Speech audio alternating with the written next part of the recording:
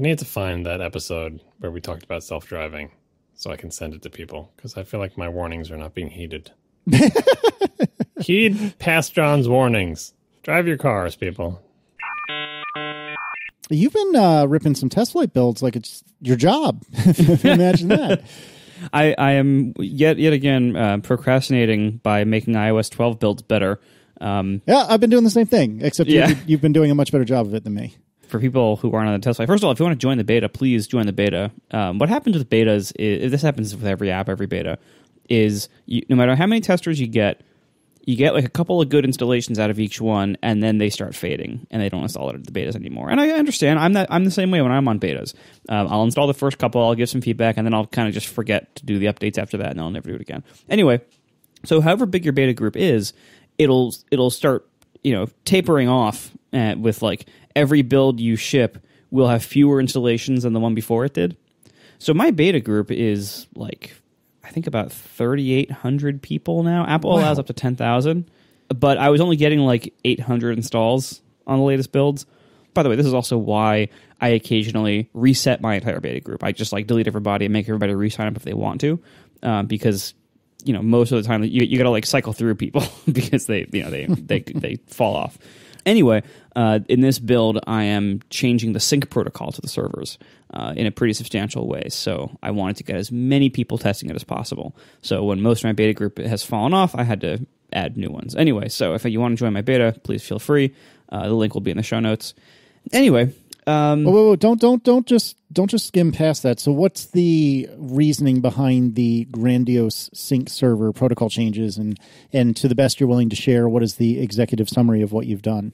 Sure. So, I mean, none of this is really secret. Um, there's been a couple of challenges that I've faced. So, the the previous sync system, the you know, if you th- you figure like a podcast has a feed, the feed has episodes in it. Every time you would sync before, I, before I had these two different methods of sync. There was the complete like full sync and the some objects sync. The some object sync is, was a small method that would just like as you were listening to a podcast or if you would like pause or seek or delete or recommend it, any kind of like small change to a podcast, the, the client could send just that to the server. So it was a lightweight operation and that was fine. There was a whole bunch of complex logic in the app though about like how many times do you send those before you send a full sync? How often do you send a full sync? Do you wait for certain delays or, or whatever else? Um, because without a full sync, you can't get like entirely new things and everything. The full sync operation was very heavyweight on both the app and the server side. The full sync, the app would uh, would basically send a record to the server of every episode it knew about in all of your podcasts and every detail about all your podcasts too. So it, would it send like you know e tags for each one, and then all the parameter values for like what you've like the user the user settable parts, so deleted, progress, etc. Um, it would send all of that to the server. Then the server would load every podcast you subscribe to, every episode in every podcast you subscribe to, and would filter through and try to see, all right, do you have anything you shouldn't have? And do I have anything you don't have that you need to have? So it was this very heavy operation. You can imagine, you know, on the client side, you're going through, at that point, possibly, you know, tens or hundreds of episodes if you had a big backlog. And on the server side, you were going through all episodes of all your feeds. So you could have, it could be going through thousands of records easily. And so it was a very, very heavy operation uh, on both sides. And there were two problems I wanted to solve. Number one is I wanted to get to a point where the app could have locally downloaded records of all episodes of all your podcasts, not just the current ones, but their entire back catalogs. And this is for a few reasons. That, you know, it helps enable certain features down the road, like having a list of all your start episodes, uh, things like that that people have- have wanted for a while. It also helps enable much better search uh, because you can the search the local search index on your app on, on on the device can index all back catalog content of all your podcasts, not just the current unlistened to episodes. Um, so there were a bunch of reasons why I wanted to have everything stored locally. It makes a lot of things easier uh, and enables some cool features. But to do that with the old sync system would just explode in memory and CPU usage on both sides uh, for people who had a lot of a lot of subscriptions, and and a lot could be like 50 or more and you think that's weird but like i have 90 and i don't think i have too many. It just you know they, they accumulate. So a lot of them are old shows that no longer update but i still have them in my list etc anyway so problem number one was I wanted to be able to store everything on, on the device about all your podcasts for lots of various reasons. Problem number two is that this heaviness on both sides made it so that the servers were doing way more work than they should have. They were using way more memory for some of these requests. People were hitting the PHP memory limit all the time. Like whatever I'd set it at, like I currently have it set at uh, 256 megs per request which is a very high memory limit for a web, a web request. That's no web app in 2019 should need that much RAM to do most requests. Uh, but I just had it set that high because I had to for people who had big subscription lists, and you know just to have enough memory to do that sync operation where it loads all of their episodes of all their podcasts into memory and parses through them and everything and uh, and I, you know I, I did some things on the server side to help alleviate that a little bit, but it wasn't it wasn't as good as it could be. Like I, I would like stream out the JSON response and everything like object by object, and so I wasn't storing it all in memory at once, but it was still doing a, a very a bunch of very heavy operations. The other problem is that this would explode memory usage on the client side too, and so I want to have a locally synced version that can run on the Apple Watch that the I want to make like a full blown first class Overcast sync client that runs on the Apple Watch and syncs directly to my servers instead of having to go through the phone because that's unreliable. The only way to do that is to fit the entire sync engine in the Apple Watch's resource constraints, and that was never going to happen with the old system. uh, I decided to solve this problem with a new system that instead of making one giant request to do everything, it basically makes individual requests per podcast. And so it does a main sync request at the beginning. I, got, I totally got rid of the some object sync, the like the two different kinds of sync request to the app, like depending on severity. Got rid of that completely. Greatly simplified the app code. And now it just makes one request at first that is like list of podcasts. That list request tells the app which podcasts it needs to update. Then the app can fetch those podcasts individually. And so it turns out the sync ends up taking a little bit longer on the client side but no one notices. I can do it way more often. I can do it with way less throttling, way less delay because it's such a simple operation on both sides. The memory usage on the server dropped from like something like 90 megs for my account to 8 Wow. I'm a little scared that I'm I am generating more requests, so I'm a little scared like how this will scale on day, on launch day. And in fact, I will probably phase this phase this release out with the Apple the, with the App Store uh, phase release feature, which I've never used before. My expectation is that it's going to be actually way less load on the servers than the current version, uh, and this enables. You know, I, I haven't done the the start episodes uh, section yet because that's just more UI work that I'm I'm deferring for now. But this did enable me to hopefully fix syncing of large libraries, and also I did the local search feature where now you can search everything and it's it's fine. Um, so anyway, once you get this version, everybody, uh, the initial sync might be a little slow while it downloads all those back catalog data blobs for the first time ever. Uh, but once it has that, it's fine. Uh, another interesting thing I did, I I kind of defined my own data format, which is usually not a good idea. Uh, but but in this case, I mentioned I use JSON for most of the server communication. Yes, I know about protocol buffers. I'm very aware of things like that, and there's a couple other like data formats that I that I'm theoretically supposed to use instead of JSON. Um, but the fact is, they all have um, requirements that I don't want to meet, and they don't achieve enough of a gain uh, for me to want to tackle their complexity and requirements. So I use JSON because it's everywhere. It's easy to read and write on both ends from both Apple's frameworks and from the built in PHP stuff. And I don't need anybody's weirdo libraries, and I don't need to define anybody's weirdo schema or anything like that. It's just super easy. So I use JSON. It compresses really well, it performs really well. The main problem, though, is that when you are set, when you are parsing on the client side, when you're parsing a big list, such as say a podcast has a thousand episodes and you're posting a thousand entries of that like in like the response from my server request of like hey what's what you know what episode do i need the client has to, when it's decoding that big blob of JSON, has to decode the entire thing in memory at once. Most JSON libraries, including Apple's built in one, don't have what in the XML world was called a SAX parser. Uh, it, it basically, they don't have like a streaming JSON parser. You can't like stream out one object at a time from a giant response or, or a file. Um, you have to load the whole thing into like one giant dictionary in memory and then access it. And this again would go against my memory requirements for like having things be very small and sparse so that they could fit on the Apple Watch. So I just defined a very slight modification where my servers are still sending JSON, but they're sending it in a streamed format. So they basically send a little tiny header to identify it as this format, and then they send blobs that f- the, they first send the size of the following JSON blob, and then they send the JSON blob, and then the next is another one of those integers that's the size of the next one, and they send the next one, and so it allows on the client side very very easy stream parsing of JSON data. So I read I read I, if I see this header, I know it's a stream, and so I read that size, read that chunk, parse it, deal with it, throw it away. Read the next size, read the next chunk. It would be great if these responses are being sent with uh, transfer encoding chunked. because that's what you basically have. Is, is, Did I just reinvent something there? That's yeah, but that's HTTP has a protocol where it does exactly that. Size, size, and uh, the, the size of the next chunk, then a chunk. The size of the next. It's a, it, it may be happening right now. It depends on what your client and service port. But that I don't think that would help you because you'd have to interact. First of all, you wouldn't get to choose where the chunks are. I think right, which for JSON parsing would ruin the entire thing. right, but you should check. You should check what's going over the wire. You may actually have be double chunking this, which would be fun. yeah, I, you know, I, I've seen like the the chunked encoding thing go by in headers here and there in my career, and I've n- I never knew like the details of how of what that was. Uh, now I know. Thank you.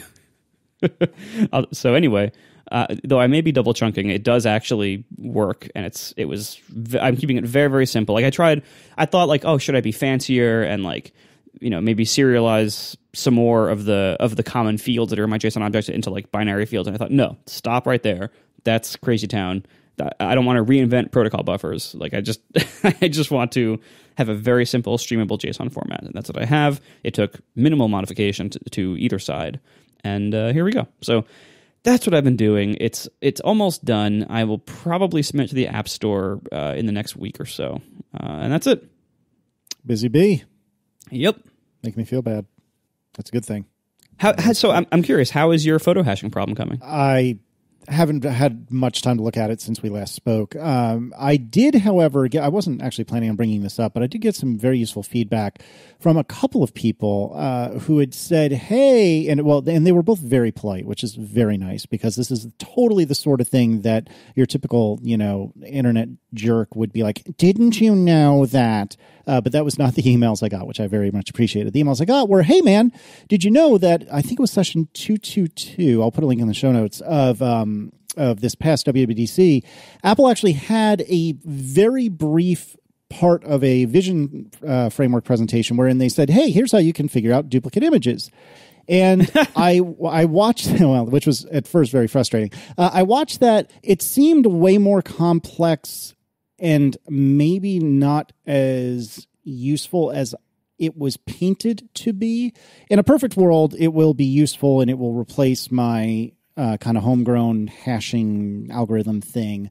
Um, but I'm unconvinced it is an exact fit for what I want. And this was in the context, this session was largely about classifying things within images. So if you have a picture of a cat, you know that there's a cat in a bowl of something. I was going to say bowl of milk, but I guess all you would know is that there's a bowl there and a kitty cat and, and a person or whatever the case may be. And so uh, they obviously with with uh, duplicate detection they they talk about more than just you know classification. So yeah, two cat images are by no means necessarily uh, the same. But anyway, I got to look at this again uh, and see if it's useful. But I was just thinking to myself earlier tonight that I really need to stop procrastinating about uh, iOS 12 stuff and really got to get into like dark mode and a couple of the kind of low hanging fruit pieces of iOS 13. And I've, I've been trying to convince myself to really try Swift UI um, again, which I tried briefly mm. earlier in the summer and wanted to go bald and rip all my hair out because it was so frustrating. And I really,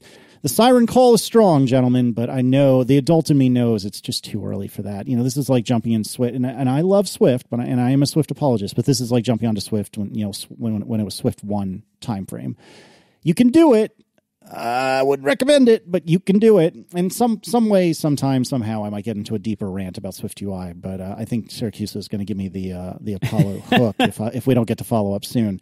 But in summary, I got some stuff to look at, and I very genuinely, I very much appreciate the emails that came in. Not only just pointing me in that direction, like it would have been useful even if you, if these people were jerks uh, and and and said, "You dummy, look at this." But I doubly appreciate that they were nice and said, "Hey, man, check this out." So I need I need to look again and there were also there were a bunch of recommendations for like simple algorithms and, i didn't mention during it but i think i've talked about it before but i actually wrote a similar algorithm uh, for an overcast feature. I, I, think it's still there, where um, sometimes a podcast would embed in its MP3 the same image as its cover art, but in worse quality.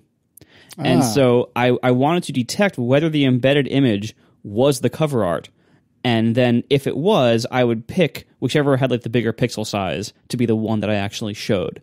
Um, and and so a, a number of people wrote in to basically suggest what I ended up doing, you know, five years ago, which was um, I would resize the image down to some very small size. I think it was like 16 by 16 or something like that. Resize both images down to a very small size, and then go through pixel by pixel and just track like.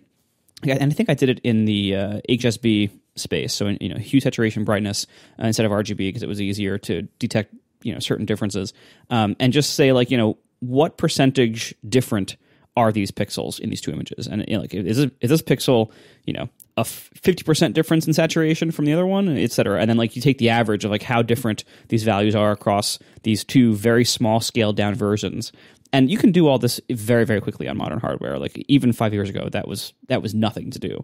It isn't incredibly sophisticated. Like it wouldn't detect things like ninety degree rotations or like you know uh, having an image have like a different crop on it, but be like two parts of the same image. Like it wouldn't detect major differences like that.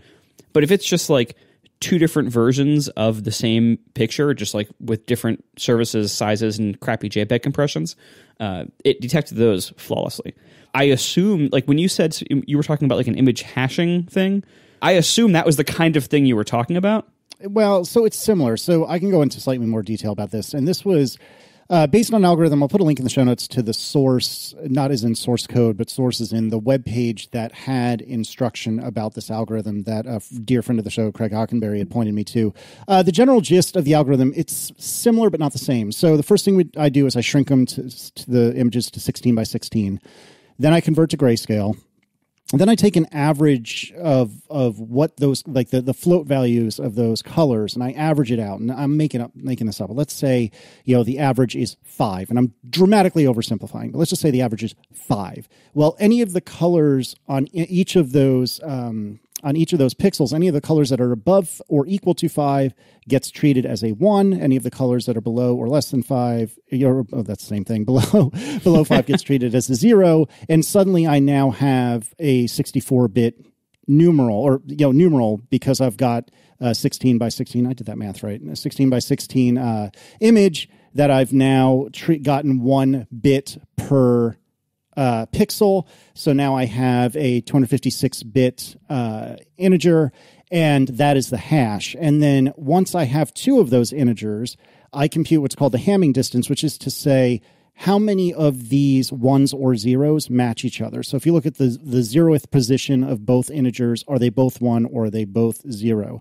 Uh, if you look at the first position, are they both one or are they both zero? And, and the amount of, of non matching uh, uh, uh, positions is the distance. So if you have five non matching positions, which is, I think, the threshold I'm using right now, which I probably have to tweak as we spoke about last time, uh, if you have five as the distance, those are probably pretty damn similar images. If you have 50 out of 64, you know, is your distance, they're probably not the same. And and again, I'm oversimplifying a little bit because it's kind of hard to paint a word picture here, but I'll put a link in the show notes so you can dig a little deeper into it. I do like what I've done. I think I'm not saying it's flawless, but I think it's a pretty solid way of approaching the problem. To your point earlier, Marco, it wouldn't handle like rotation or things like that, and it's not flawless as John has pointed out with things as simple as JPEG compression. Now, I think some of that I could tweak with, you know, by, by tweaking the threshold between what I can consider to be the same what I consider to be different. It seems to be going okay so far, but I, I definitely need to do more tweaking. As a quick side note, before I let you guys uh, comment on this algorithm, I had written this so that you know when when I had these two six you know these two 64 bit integers, I needed to you know com- figure out well what of these ma- what bits match and what bits don't, and I wanted to I wanted to know when one or the other was you know when when they were non-matching basically. So i have one if i have two bits one is one and one is zero or one is zero and one is one. And i wrote this like super uh, super ridiculous like i think it was a nested loop to figure this out. And then it occurred to me wait wait wait wait wait wait. I forgot what that xor exists? Then as yeah. i was telling my father about this because he happened to be there right as i'd finished this up i was like wait a second this sounds oh god i can definitely use nexor here can't i and so i felt like such a damn fool when i realized the error in my ways thankfully i realized it before i shipped to anyone You're, you're reinventing it from first principles. Casey. yeah, it, yeah I mean, to be what it was. fair, like I bet the majority of working programmers don't know what XOR is. Second of all, even those who know what it is, I'm pretty sure I've had zero times when I actually had to use it in my career. exactly exactly I've totally used it. Of course, Of you course have. you have. Back in the day, you'd be course you looking for an excuse to to do bitwise operations in, in C. It was like, what clever, you know, it was, it was like your first option. I do bitwise operations all the time. I just have never had a use for XOR. I even do them in PHP. It, it's funny to me that both of you picked it out as I was starting down this path. I've used it in conditional expressions, as in, and, you know, like you know, you can do like double ampersand and double pipe for the or like in a big if Mm-hmm, or whatever. Well, Perl, as no surprise, has XOR operations. So does C for that matter. But uh, Perl has logical XOR, not just bitwise. And I've used Oh, you're logical XOR. so fancy. Yep. And then you put a big comment at the top that says, "Look how clever I am." Did you know this? So anyway, so I, I I was both humiliated and then ultimately proud of myself for having realized as I was just kind of walking Dad through the general gist of the algorithm because Dad Dad has never written code, but he's a reasonably tech savvy guy, and so if you if I give him the broad strokes of something, he can usually follow along. And yeah, as I was describing it, I was like, wait. Holy crap, I think that's an XOR. I got to double check that and look that up. So turns out that made that code a lot quicker and a lot smaller. Who'd have thunk it? I'm glad none of us say Zor. Does anybody say that? Let's just celebrate that. That says that sounds like something I would do, be it deliberately or otherwise. But no, it's an XOR. Thank you very much. Yeah, your description of that algorithm just makes me think of all the ways it can fail. But setting setting that aside, uh, it's a perfect uh, uh, opportunity for you to make unit tests. Every time someone sends you a That's pair of, of images that fail, you add it to the test data and you tweak the thing. And then you know if you end up chasing your tail and you can't get it to pass on all the images, then maybe it is actually time to dive in and try to get some kind of uh, machine learning thing because then by then you'll Oh, have a good God. data set of images that you think are the same and then you could train the thing to also think they're the same You know, I don't. I, I know that you are correct. I don't think I am smart enough to handle anything related to machine learning. I'm sure that it's not as complex as I'm painting it, but oh really you could use that GUI app that Mike Mattis makes or whatever you just like connect a bunch of boxes together and throw a mm-hmm. bunch of images at mm-hmm. it and click on things and correct it and then it out pops a model that you just jam into CoreML and you just run it just like that, small matter of programming. and then it gets and then it gets bizarre results that you can't explain but you're already getting bizarre results that you can't explain so it's like you're you're already there Ay, ay, ay. I do want to also uh, echo your thoughts before we leave this this entire genre of topics on uh, Swift UI. It is very similar to what you said of like it's just like the first year of Swift, where it obviously is changing constantly, uh, and there's a lot of people having a lot of fun and getting a lot of stuff done, like writing tutorials and playing with it and making test apps or making real apps. Um, but it is so not for me because it is it is still so much in flux that like you you have to like the, the things that are changing between betas are like pretty significant things still. I am very tempted to rewrite my entire watch app in Swift UI. Uh, I haven't started that yet. I'm very very tempted, but there's so much churn in using Swift UI right now, and the tools are so early, and the frameworks are so early, and all of this is going to be so much better next year when next year's betas come out and they fix all the well they fix many of the problems with this version of Swift UI. I'm probably not going to write any Swift UI until next year because it, it'll just be so much easier then. Yeah, th- that's the thing. Is so I I don't remember if it was Swift two or Swift one where I really started. It was 2016, so it might have even been three. What was the awful? You would I can't ask you two, but the whatever the awful transition was, I think that was three to four, maybe maybe it was two to three. I forget now. But I was writing Swift professionally when there was that god awful transition where everything under the sun changed names, and that's where Swift I think really got a bad reputation. Uh, the chat room is saying it was two to three. Uh, because everyone had to rewrite like half their darn code base, and it was very frustrating. Um, nevertheless, I had been writing Swift, so starting maybe Swift 2. And early on, like the tooling was bad. I'm not trying to say it wasn't bad, but the thing that drove me most nuts about it was even if we did get an error message, it, the error messages were completely and utterly inscrutable. There was no way to look at these error messages and figure out what in the name of Zeus's butthole they were talking about.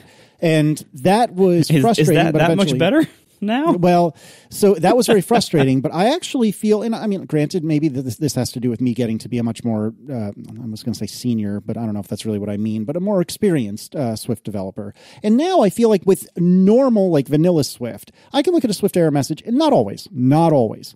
But I'd say 60 to 80% of the time, which is not great, but 60 to 80% of the time, I can put together what the actual issue is. And when I can't, you just add type annotations all over the place and usually it figures it out. But nevertheless, uh, with Swift UI, all this is to say with Swift UI, I look at these error messages and I don't have a clue what is happening. Like, what? Huh? What? Where? What are you talking about? And and oh, so often the error is many lines away from where the error is being reported, which also happens in regular vanilla Swift from time to time, but it is bad with Swift UI. And that's really frustrating because it feels in so many ways as a Swift person, it feels like a regression. You know, I'm, I'm like, I'm getting all of these I'm I'm getting all of these bad feelings from early days of Swift coming back, and they're not welcome here, and I don't want them. So th- that's the tough thing, right? Because when Swift UI is going well, and this is, I mean, like so many things in both computing and in life, when it's going well, it is incredibly fun, and I mean that. I, mean that word deliberately. I'm using that word deliberately. It is incredibly fun to be writing these UIs and watching them refresh instantly, and and it's so fast and so enjoyable and declarative and great. And then you put one thing in the wrong spot, and everything falls apart and, and it falls apart in ways that that are I, I would argue impossible to understand and that's that's the thing that that just sucks all the fun out of it. It sucks all the air out of the room and makes me agree with you marco that yeah you could one could write very good user interfaces with swift ui today. But if you want to do that without ripping all your hair out and causing yourself to go bald eh maybe wait a year even if you're already bald, I can highly recommend waiting a year. It's because it's like because everything you just mentioned is is going to be better next year. Like Sure. you know the uh, to some degree, just because of the nature of Swift and because of the nature of compilers, uh, there's always going to be some degree of obtuseness and weird error messages possible if you like put a character in the wrong spot or miss one Sure. thing in the language. Uh, right now, I think it's it's probably as bad as it's ever going to be because it's brand new. The tooling still hasn't really caught up very much yet to it. Everything is very early, uh, and you know, so over time, it's the tooling is going to get a lot better, which means the error reporting is going to get a lot better. Um, you know, you'll have more of those like little fix it kind of buttons that you could just click a button to have to fix a typo or something like that. Hopefully, um, but also like this is an incredibly complex pile of hacks on top of an incredibly complex language. And so there's there's only there's I think there's only ever going to be like a certain amount of niceness that is possible to give in things like error messages uh, in Swift UI because Swift UI is not just it, it isn't some native thing that came easily to the language. It's very much like a very complicated pile of complexity. Well, I I both agree and disagree there. Swift UI is built out of Swift, and that sounds stupid, but just it. There's no there's there's magic ish there, but if you follow, like you can see how the magic is held together, you know. And I'm not, that's not just because Swift is over open source. I'm not talking about digging into like the Swift C++ compiler. God help me, no no. but uh, you know a lot of swift ui and like the dsl it is it is scrutable if you're willing to put in the work but i agree with you marco that no regular human being in myself very much included uh, is going to put in the work to really and truly understand how like the swift ui dsl works and so in that sense Ah, what do you mean, no regular human being? Anybody who knows? I think that, I don't, I don't want to talk about Swift UI yet because I still have some more research and uh, session viewing that I'm watching. But the features that the Swift UI uh, that make the Swift UI DSL possible are language features, uh, and and that any and anybody who knows Swift and is interested in writing Swifty code, if making your own DSLs becomes a Swifty thing, which I think it might, will know how it works and will be able to write their own DSLs that look just like Swift UI, but do their own cool things. And so I don't think, I mean, it may not be common. Most people won't know, but anybody sort of skilled in the art will not be afraid. In the same way that people know how React works.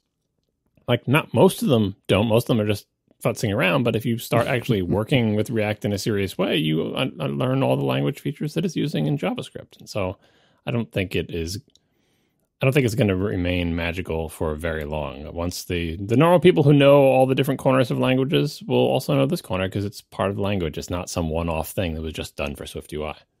Well, I, do think though there's there's like a certain amount of like obsession with minimalism that we've had across the entire industry uh, in the last decade or two um, that has crept into programming languages in a way that it seems at first like a good thing, but what actually has happened that there's there's this this huge downside of when there's so much complexity beneath the surface it makes it harder to understand what the system is doing, and it makes it harder for new programmers to get up to speed with the language and to be productive in the face of problems. Now, granted, I'm not saying the languages of yesteryear were easy in those ways all the time. I mean, I still remember, you know, we all probably remember when we, the first time we were programming something in C in ComSci, you know, 200 whatever, and you, you you build something and run it, and you see segmentation fault and like, well, that could be anything, right? And like, you know, th- it, there's lots of, uh, you know, hard learning in becoming an expert in programming.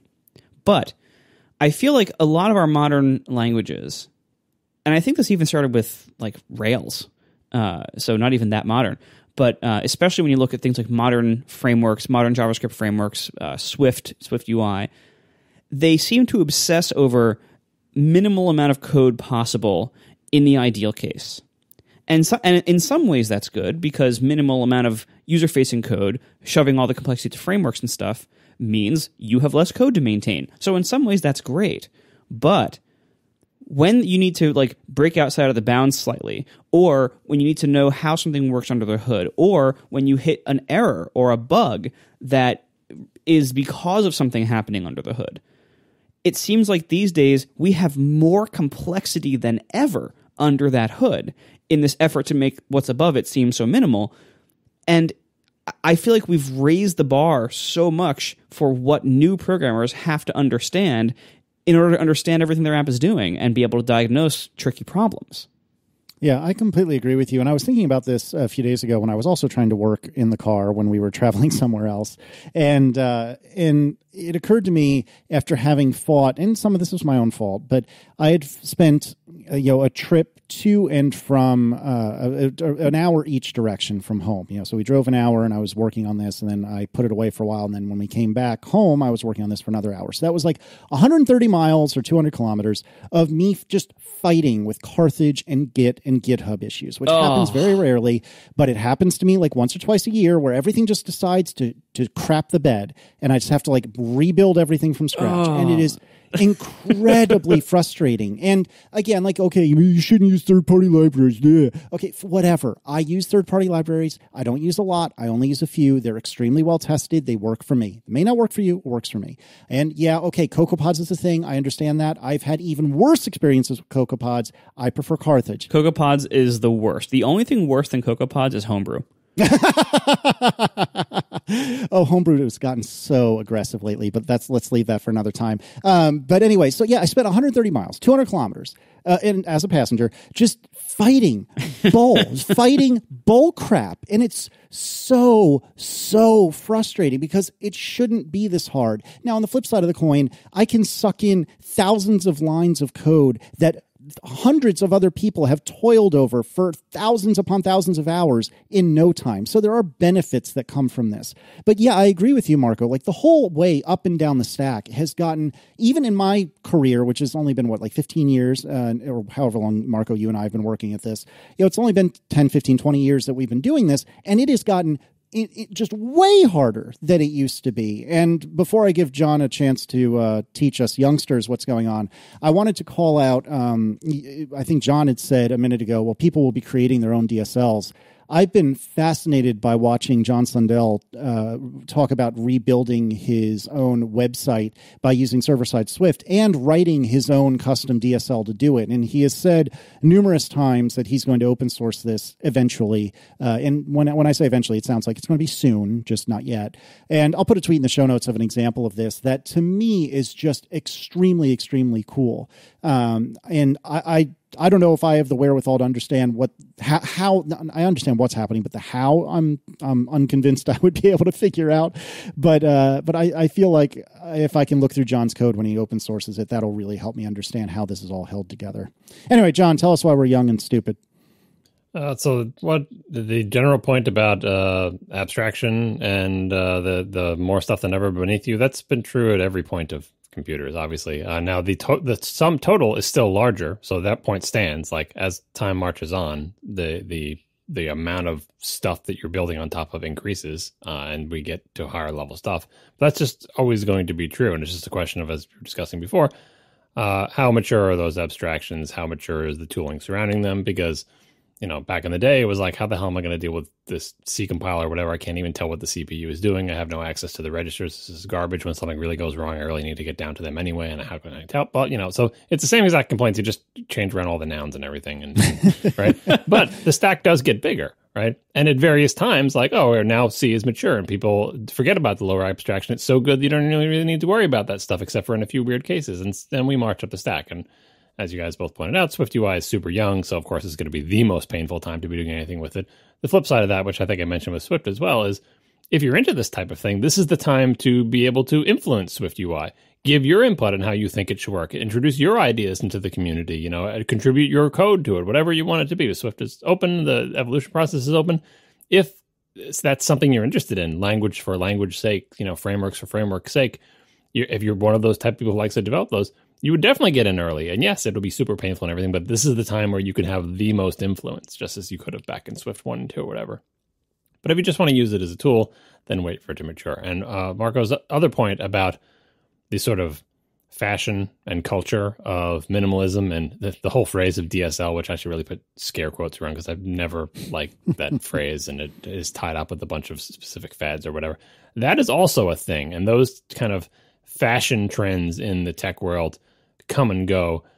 I think Swift UI is it's a little bit in the vein of that kind of minimalism, but it's I think it's more in the vein of uh, adopting some of the fads from the web world and bringing them over. But you know, like, like I said, I, I'm I'm still digging into Swift UI, and I want to sort of get my brain around it in a more significant way before I have anything more particularly intelligent to say about it. Um, there was uh, speaking of uh, uh, Sundell, uh, Brent Simmons was on. Oh, it's Swift, Sun, Swift by Sundell, the same one you were on, Casey. What's the name of that podcast? Yep, it's Swift. By, it's Swift by Sundell. Yeah, um, and they were talking about Swift UI a little bit, and uh, they were mentioning like thinking off into the future how what what a great fit it will be. That I don't think it's going to be next year. They're a little optimistic thinking it'll be next year, but I think like in two years when the sort of Swiftified equivalent of core data comes and ties into Swift UI, so you can sort of define your models with a, with a domain specific language, quote unquote, and tie that to your Swift UI views in a cool way. You know what I mean? Like you can see how it might come together if you buy into this way of programming and assume the tooling will get better and assume all the blah blah blah. You can see how a Swifty Swift UI data layer would fit together with the UI layer in a really cool way.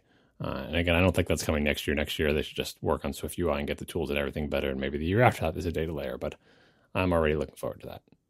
See, for me, like I, I have a hard time getting excited about that kind of stuff usually because like it's actually kind of similar to Swift UI, although not quite, not a little bit worse in this way. Usually, you can only really take advantage of it if you're like starting an app from scratch. Like there's usually not a lot of like easy ways to take an existing code base and migrate it to a whole new data layer. You know, well, that, so that's the beauty of this approach, though. Like just like with Swift UI, you can just use it in one place. It's not it's not you have to recommit your entire app to it, right? So if done in the in the in the right way, you don't have to say, oh, I've got to just throw away all my model code and replace it all with this. You might be able to take your existing model code and like have a shim or a series of protocols that allow it to conform so you can just chuck it over the wall to something that understands how to bind it to a Swift UI view, but really it's your model underneath. You know what I mean? Like there's there are ways to do it that uh, won't be as painful. And I don't, I, they're not easy, right? But the the job they've been able to do with Swift UI, making it so you can adopt it in small chunks, makes me hope that that philosophy will imbue whatever hypothetical uh, Swifty data layer that uh, we're speculating about.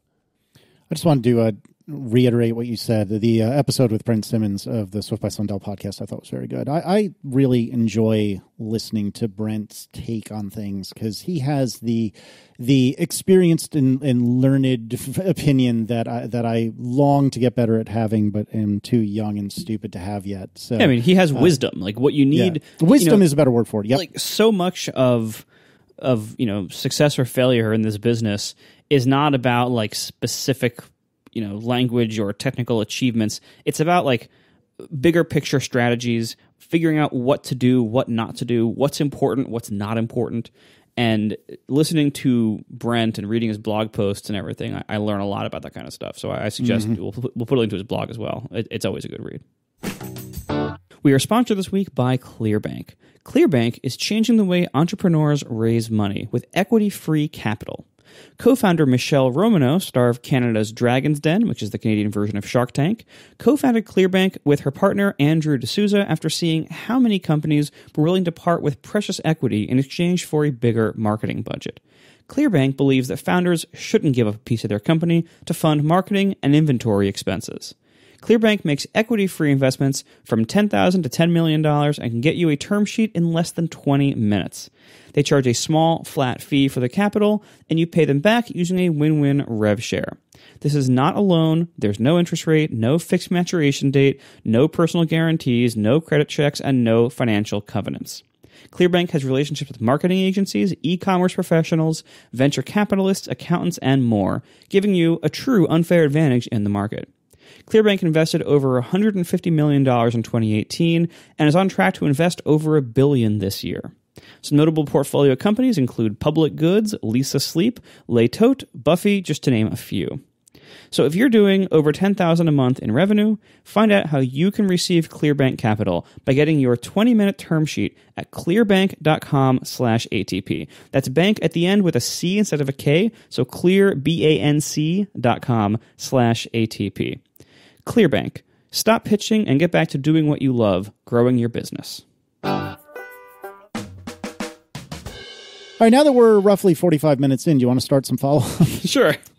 You two uh, have such problems with a very simple show format that we've been doing for a long time. like, oh, Marco's going to talk about his app a little bit. Then we'll talk about this. And then Casey's going to talk about his image jeffing algorithm. Let's let's talk about Swift UI. It's not it's not a complicated format.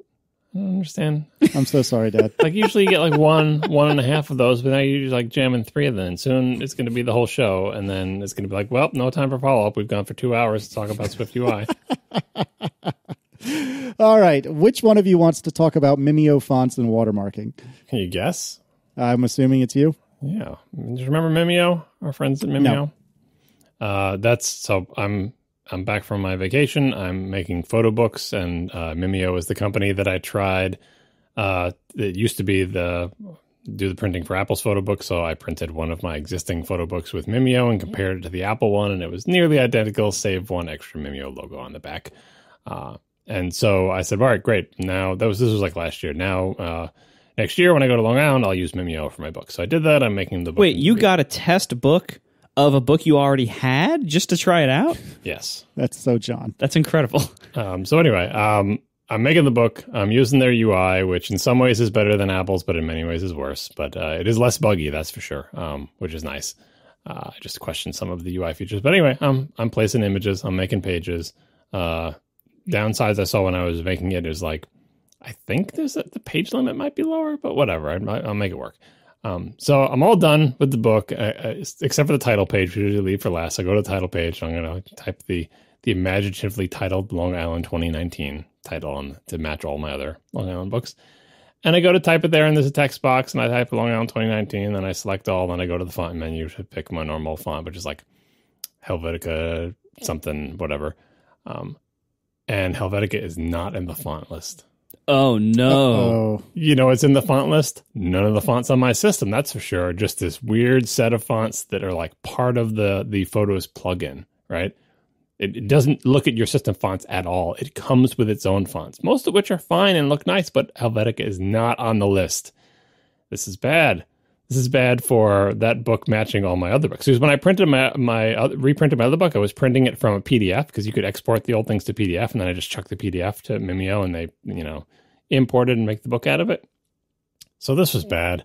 So you know I I looked for lookalike fonts, and I just couldn't bring myself to use any of the lookalike fonts. So I had to bite the bullet and export the cover image as a ping, bring, Oh, bring it into Photoshop, put the title in Helvetica, like in the right place, which was really hard because I the image I had for the cover wasn't exactly centered on the cover. So it took me like eight tries to get it lined up and sized correctly. And then just delete the text box and have the sort of I, I did baked in subtitles, Casey, just for you. Burned in subtitles. What, what are you call yeah, yeah, yeah, yeah, yeah. hard coded what is it hard coded norwegian subs oh, where's Mer- merlin when i need him um, so that was a painful process. And the uh, the text on the spine same font problem but i don't have a way to influence that. It's not a photo. So the spine font is going to be incorrect which is a shame. Mimeo please please use the system fonts. I know it's probably some weird licensing thing that i don't understand. Please please use the system fonts because I don't want to go through what I went through with the cover uh, next year. Uh, second thing is, I'm like, okay, before I order this book, let me just do a PDF export because I always keep PDFs of all this stuff, um, just in case like the books, you know, get water damage or the house burns down. At least I'll have the PDFs and I can in theory reprint them. Um, or just basically preserving all the work I've done to select and size and crop and arrange all the photos because that's a lot of work too. Um, and I exported the PDF, and instead of it making the PDF on my computer, it's like enter your email address, and we'll email you a download link. I'm like, all right, well, this is weird. Whatever. I don't know why you don't just make the PDF on my computer. Like you're right here, you're a native app, you're running on my computer. So I give the email address. It emails me like. I downloaded uh, the PDF downloads. I open it up. Every single page is covered with a Mimeo watermark across, like repeated on an angle across the entire thing. Nice. That is not good because that doesn't serve as a good backup, really. I would have to redo, I couldn't print a book from the watermark thing. So, good news, bad news. Good news is the watermarking is going away.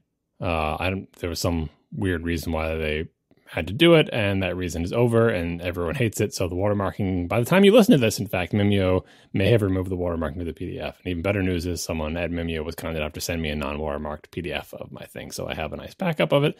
Bad news is the font situation stands. So I have ordered my book. Uh, I'll let you know when it arrives how it looks with its hard. oh, God, Merlin, where are you? You say you listen to the show. Jump in the chat. Hard coded Norwegian subs. I don't. Know. There's. You don't even. You two don't even know what I'm talking about. I don't know why I bother. Uh, Well, anyway, Casey knows about uh, burned in subtitles. hmm Oh goodness! All right, tell me about your cameras, John. The Sony. I don't even. These names are so terrible. What happened to Sony having good names? Where were they just whining about this? This was The- just the- getting. the names aren't the names aren't bad. They make they make some kind of sense. This was on uh, on Cortex. That's what it was. And yeah, and it's like I- I, I think like we all think back like Walkman and Trinitron. Mm-hmm. Those were two products over the last like forty years. like, Oh, but the Sony- the Sony name, the Sony uh, camera equivalent to that is Alpha, because Trinitron was not the name of a TV. You can say, "What's what TV do you have?" Oh, I have a Trinitron. There was a million Sony models. It was Sony Trinitron, and then an Alphabet Soup. So these are all Sony Alpha, That's fair. Alphabet Soup. Right. Uh, these names aren't actually that bad. They are about the same as modern car names. In fact, they actually are similar to car names. And I blame Canon for a little bit of the Roman numeral crap because they were there first. Anyway, uh, camera follow from last week. Lots of suggestions for other cameras. One suggestion uh, is actually related to naming. Uh, someone suggested to me the Sony A6400, and I said to them, "Do you mean the 6500? Because we talked about it on the show." And they said, "No, I don't mean the 6500. I mean the 6400." Sony, and its infinite wisdom. So they had like the the Alpha 6000, which is like the predecessor of my computer, sort sort of size and shape uh, many years ago. And that was followed up by the 6300, which is what I have. And then it was eventually followed up by the 6500, which is like what I have, but it has in body stabilization. After the 6500, they released the 6400. Cool. That's Which- awesome. And you're like, okay, well, maybe, you know, the number doesn't always go up. Maybe it's the model that slots in right between the 63 and the 65. right, it's like a lower end model. No, it's not. It's better than the 6500 in all ways, except it doesn't have the, the the the the shooting buffer is a little bit smaller and it doesn't have in body stabilization, but has other advantages. and it has the smaller grip of the 6300. Like it is kind of in betweeny, but the bottom line is if you had to pick one of these models to get, uh, unless you really, really need in body stabilization or the bigger buffer so you can shoot like literally 700 pictures before the buffer fills up or something, get the 6400 because it has the better processor, better motion tracking, the same sensor, uh, better battery life. It just doesn't have in body stabilization. So I, I'm I'm not doing any camera purchase stuff, but uh, if I had known this before the vacation, if I had known this model even existed, like I probably saw the news fly by, but I'm like, 6400. We're on 6500 now. I don't need to be interested in that model. Anyway, it has the, the big thing it has for going for it is the the big beefy processor from like the A9 or whatever that does this amazing amazing object motion tracking autofocus uh, and a slightly better color reproduction everything. It's that inside this little dinky camera plus a bunch of other tweaks. So if I needed to get another one of these little cameras, that's the one I, I'm still hoping they'll you know do a major upgrade to the sensor, but it doesn't look like that's in the cards because 6400 is actually a pretty recent model. Second thing I discovered about the A7R4, whose name I kept getting wrong, and that's the one with the Roman numerals at the end, uh, A7RIV. Uh, yeah, looking at reviews of that camera, the problem is that it just has too many damn pixels in the sensor. like, I don't think I'm ever going to buy that camera unless I have a major change in disk space. Like, as as someone humorously pointed out in their YouTube video, the JPEGs of that camera are bigger than the RAWs from most other cameras. like the, the, JPEGs are 30 megs each. Oh like I, my god, that's double the size of RAWs on my camera. That's what I'm saying. So, I, so I, I, mean, I shot with RAW a little bit with my camera, and the images were just too big, and I wasn't getting any of the benefits uh, that, to uh, account for that. So I quickly switched back to JPEG. Right, but the JPEGs, are, like I mean, it's a six, what is it, 61 megapixels? It's tremendous, right? Um, aside from the camera itself being large and all those other things, it's I, I think that's I think that's too much for me. Uh, now, uh, what uh, the the alternative that a lot of people are talking about is is the like there is no uh, alternative to that right now, but there is last year's or last model's alternative, which is the A7 three without the R. Right, so there used to be the A7 R3 and the A7 three. The A7 three is like the A7, but the sensor has what like a quarter as many pixels. Like it's like 20 megapixel, 21 megapixel instead of 42. Yeah, it's like it's it's less megapixels, but otherwise everything else is pretty much the same. So you get like better battery life and faster processing, and you know a lot of a lot of advantages over the bigger model actually. Yeah, and bigger pixels, right? I mean, I would assume like it's the same sensor size, and there are fewer pixels, so it stands to reason those pixels are bigger. So yeah, yeah so that's eh, there is no A7 IV without the R. But in theory, if they follow their their naming pattern, there should eventually be an A7 IV, which is like the A7R4, but with a sensor with uh, you know 20 or not maybe I guess 30 megapixels or something like that. I don't know if that's in the cards. I don't follow the camera industry to know if that's coming, but that sounds like a much more attractive, way too expensive camera for my needs. So I'm keeping my eye out for that. Yeah, based on past Sony actions, it is very likely that that will come out after, like you know, some deal of time, maybe six months after the A7R4. When did it, when did the R4 come out? Uh, pretty recently, like a month ago or a couple weeks ago. Yeah. Oh, okay. Well, yeah, well, because the R3 came out uh, somewhere around late 2017. Um, mm-hmm. So yeah, so yeah, they're on roughly like a year and a half cycle on these usually. So uh, and then and then the A7 three I think came out maybe like three to six months later or something like that. So uh, sorry if I'm getting all this wrong. This is all from memory, but uh, yeah, it stands to reason that you know maybe later this winter or in the spring they would probably do a, an A7 four. And for your priorities, that's probably the better buy. Yeah, and finally, lots of people uh, are pointing out the RX10. There's there's an RX10 IV, otherwise known as the RX10 IV. Yeah. Um, That's their super zoom, right? Yes. So they have a super zoom, and I've known about the super zoom. I knew about it, you know, before I bought this camera. Like, it's huge. Like, it's gigantic. Yes, it, it like it is the superest of super zooms, but it, it's like bigger than the, the the A7. It's just tremendous. It's not an interchangeable lens camera, right? But it is this huge lens, and the camera itself is huge, and the body is huge, and everything about it is giant. It's just uh, like I suppose I should look at some image comparisons. I suppose like for the price of that camera, it may be less than the price of a high qual of a zoom lens of equivalent. Well, certainly is less than than uh, the price of a zoom lens with that kind of range because the range is crazy. I, think it goes to like 600 millimeters or, or something like that. Uh, but that's Yeah, it's a, it's like a single purpose camera. Like you never you, you can never slap on a good prime lens on there to take like portrait photos. It like it is what it is. It's a super zoom, but it's just so darn big. Like it's too. I don't. You know, I'm not even sure I can go up to an A7 level size, and this thing just it's, it's huge. So uh, that's I, I know about that model. I know about that whole line, and I just feel like it's not for me. It's not the right set of trade offs. Um, and then finally, I didn't put the notes, but someone was nice enough to send me a list of all my alternative options for better zooms because I mentioned I'm not sure what I would get if I tried to get a better zoom. And I just listed them out, conveniently putting what percentage larger each one is than my current zoom. that was good, and it gets ridiculous. Like the top end one is literally three times the length of my current zoom. So yeah, there is like there's one option that is like 30% longer that is better uh that I may consider. But and it's it, it's 30% longer and also thicker as well. God, there's no way to get out of this conversation. Anyway, we're moving on. Uh, there are many options for me to spend money on cameras, and I'm I'm not doing either one. We're gonna gonna. I'm still getting myself psyched up for the Mac Pro configurator if that ever appears on Apple's Oh website. goodness. And, and by the way, and I, I do think like you know for your zoom range needs, uh, I, I think you've had two very good ideas. Uh, number one is uh, you should avoid you know individual like fixed lens cameras like the RX10 Super Zoom series. Number two, your idea that you kind of brushed by last week of like maybe you just have two camera bodies and one of them has a telephoto and one of them has a closer lens. That's a really good idea actually for your Uh, I'm still thinking about that. That's why I mentioned the 6400 because it's not. I wouldn't get rid of my 63. I would get the 64, and then I would have two. But then I started thinking about, but which one gets the prime lens on it? You're like, oh, well, you you put the zoom on the 64 because that has the motion tracking. Like, oh, well, the 64 also has better color processing slightly, so you wouldn't you want that with your prime lens? Uh, Easy. You put the prime lens on the one that has more resolution because th- they're the same.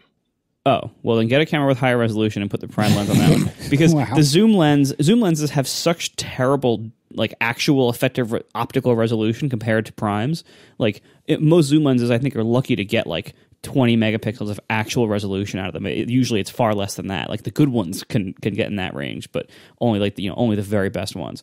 Um you know, so you're you're kind of wasting your megapixels if you have like a really high megapixel sensor with a zoom lens on it, usually, or at least you're not getting anywhere near its, its full capacity.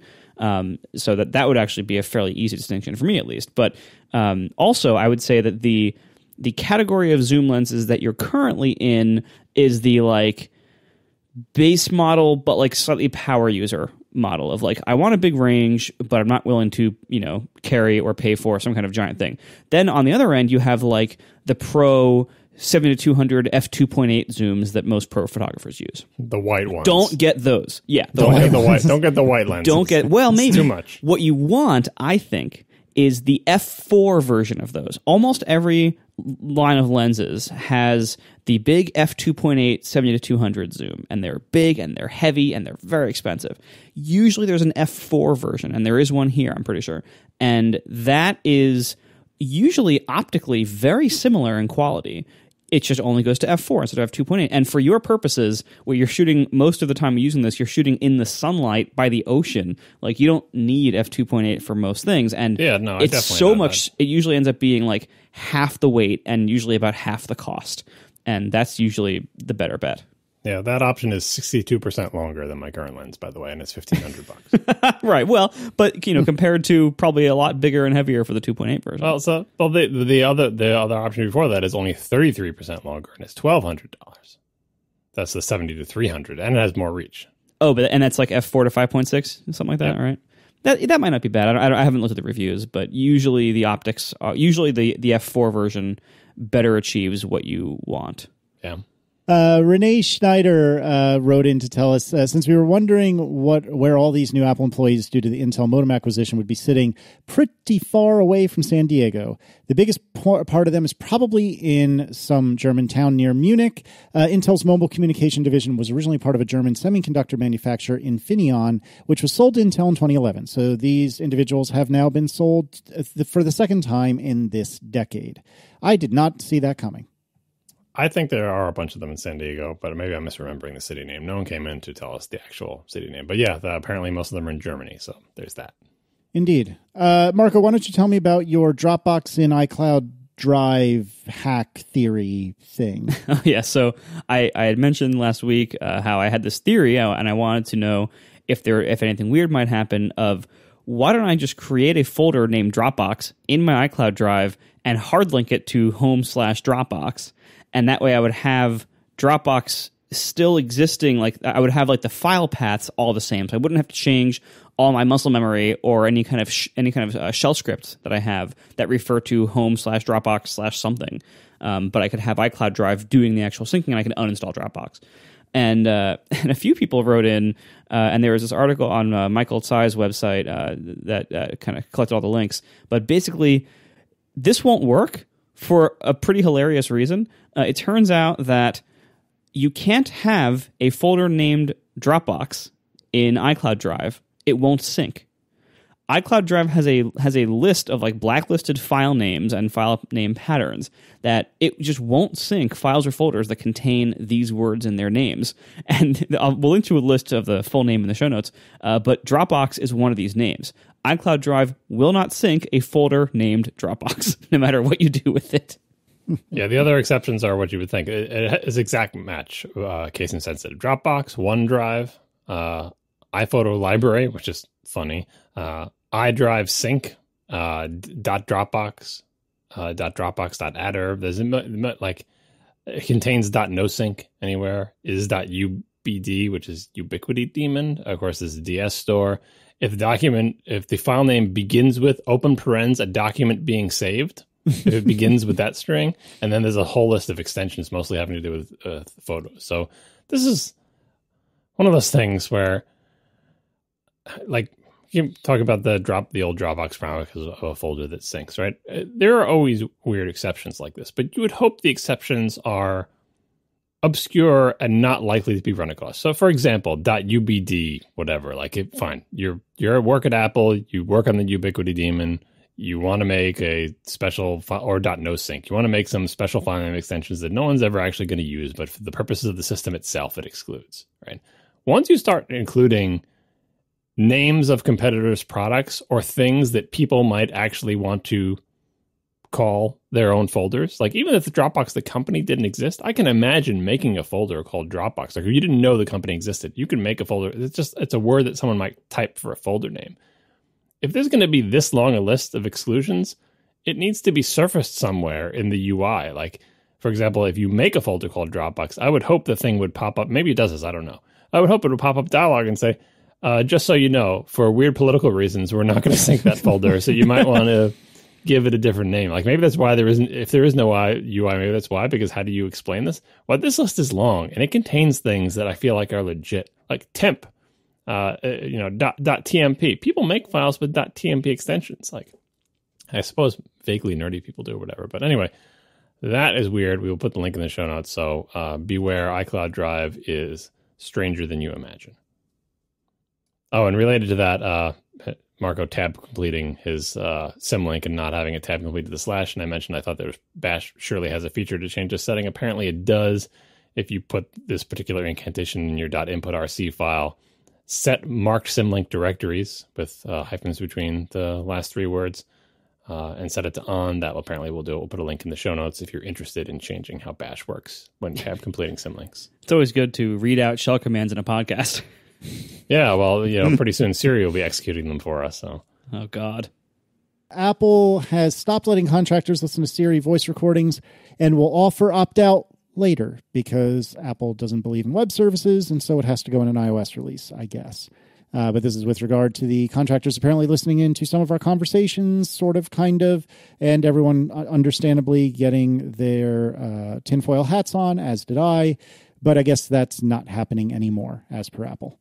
Well, I mean, temporarily suspended. Like it's it's a reasonable reaction, which is uh, everyone hates this thing we're doing. Let's just stop doing it and then regroup and figure out a better thing. Because as you noted, Casey, they're not exactly nimble on their feet when it comes to rolling out features like this, and they probably shouldn't be because you could mess things up. So the best thing to do is just stop it, stop doing it, tell everyone you stop doing it, actually stop doing it, and then probably roll out some improved uh, way to to uh, you know communicate this and a way to opt out of it and so on and so forth. Someone did point out there actually is a way to opt out of this for enterprises for big companies because big companies don't want like audio leaking out of their company's phones and going to Apple or whatever. So there's this very convoluted way using like enterprise profiles or something to convince all of the iPhones that are used by employees of a particular corporation not to send any audio to Apple, blah, blah, blah. But it's a process that no regular person would ever go through and is obviously not a solution to this problem. So the solution for now is Apple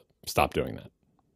And similarly, apparently Google, because GDPR, if I understand this right, has been ordered to halt human review of voice AI recordings over privacy risks. And this happened uh, specifically because of a German privacy watchdog. Yeah, this, is, I remember reading about this story. Like someone, someone uh, had a big leak of like a thousand different recordings and dumped it out. Like that's the problem with this. If you collect this information, and you know, even if what you're doing with is just trying to improve your program, once you have this information, it is a danger.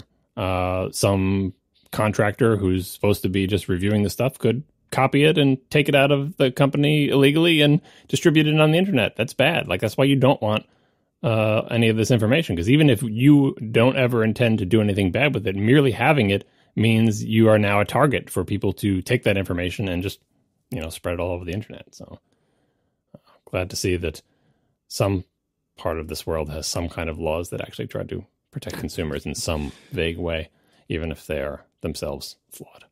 Definitely not here. That I'm confident in. No.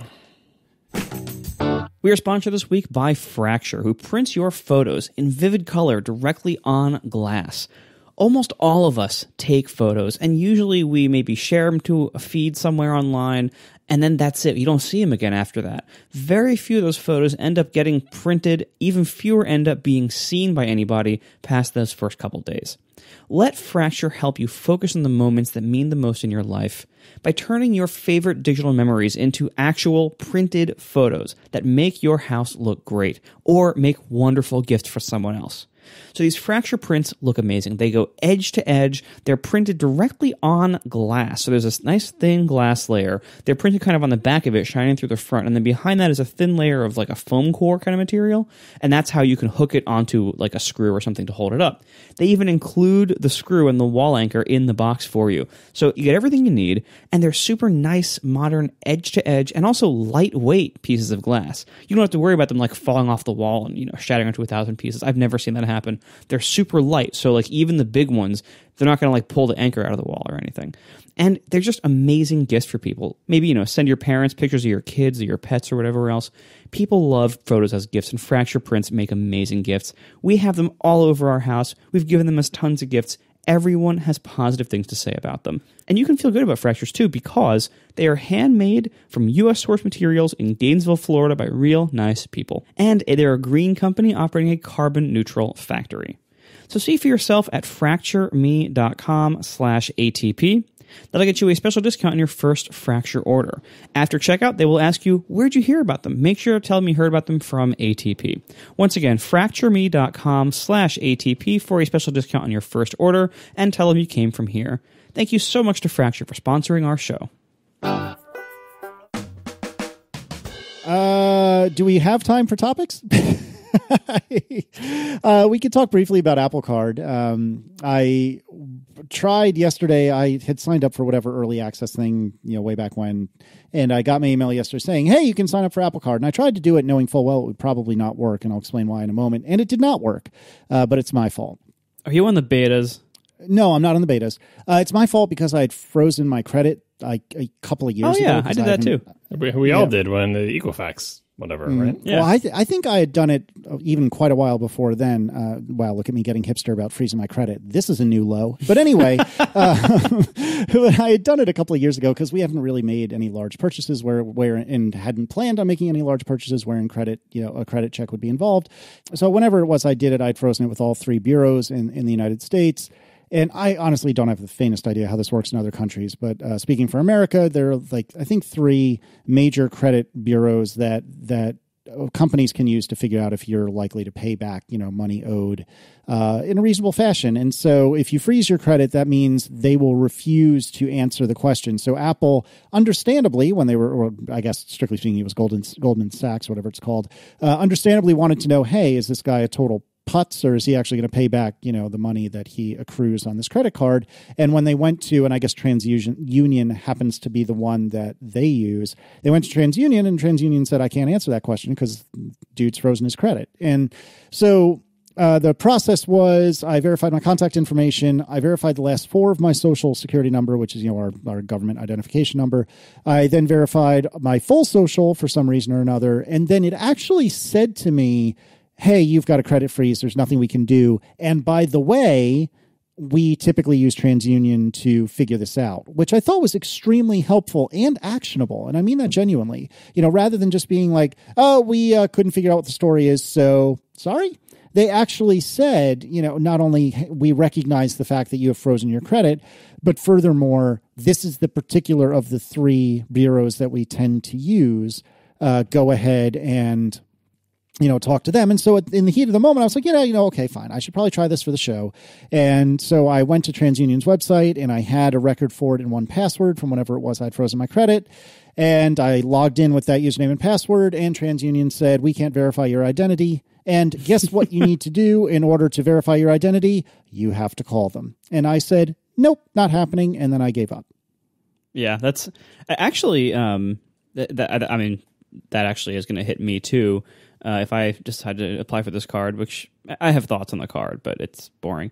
Um, but I will say that I, I also keep my credit frozen as of a few years ago because of the Equifax thing. And uh, and I, I I recently applied for it was I think it was the Amazon Prime Rewards card because uh, it gives you like five percent back on Whole Foods and Amazon, which is pretty significant. Um, and I spent a lot of money in both of those places.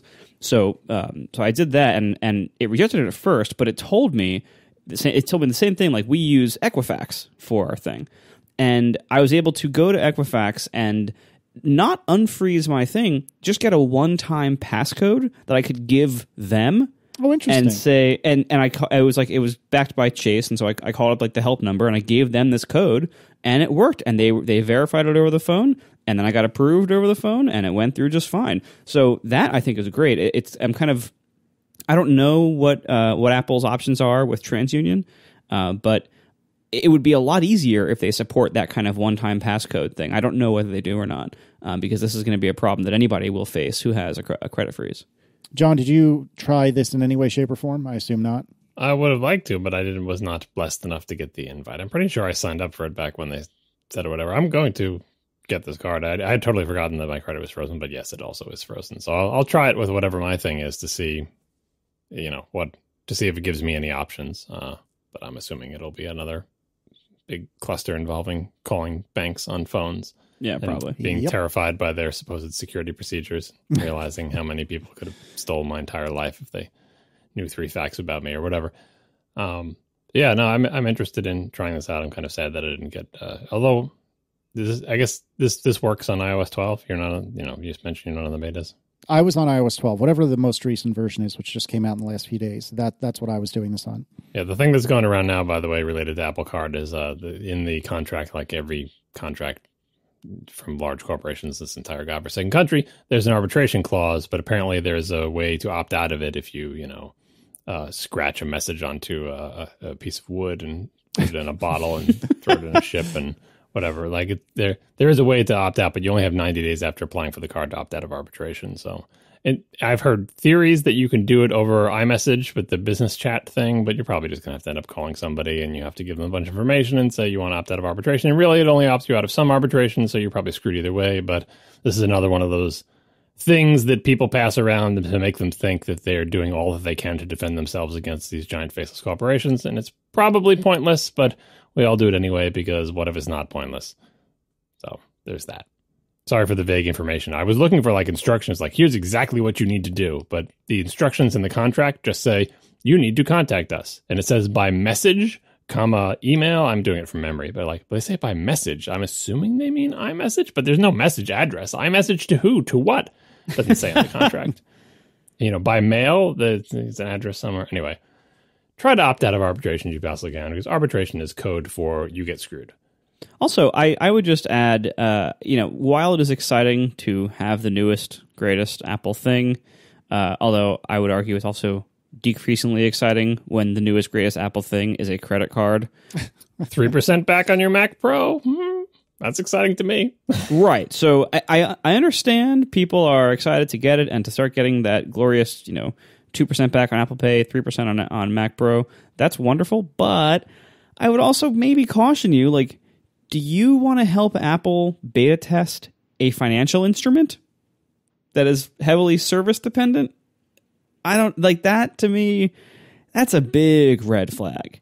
And I this is another thing like you know, if if something about Apple's backend messes this up for you, not only is the not only is there probably likely to be like only very painful to know recovery methods available, uh, but like they're messing with your money, they're messing with your credit.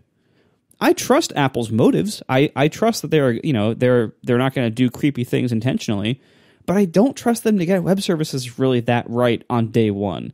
So I I would not want to trust my finances and my credit and and my payment methods on my phone or whatever else like i don't want to trust that to the very first few days of this rollout like give them a chance to work out the kinks. Maybe maybe try it like you know next month if you're going to try it.